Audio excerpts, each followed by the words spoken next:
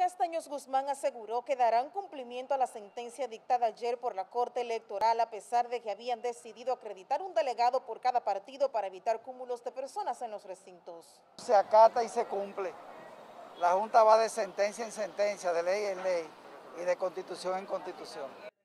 Decisión de la Junta había provocado disgusto en los partidos de oposición que aseguraban no tener quien defendiera los votos de esas organizaciones en los lugares y niveles en que no llevaban alianzas, por lo que dan el visto bueno a la decisión del tribunal.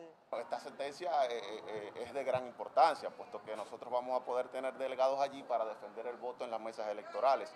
Si no se aplicaba esta sentencia, pues entonces íbamos a estar indefensos en las mesas electorales. Ahora vamos a poder tener delegados que van a poder defender el voto de nuestro partido, de nuestra casilla, de nuestros diputados, senadores y de nuestro presidente Leonel Fernández.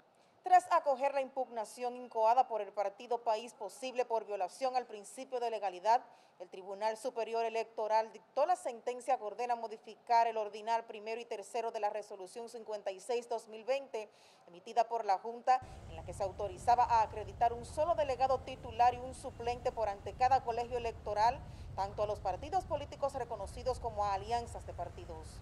Los partidos de oposición habían elevado varias instancias en busca de que la institución modificara esa resolución, amparados en el artículo 150 de la Ley 1519 sobre el régimen electoral.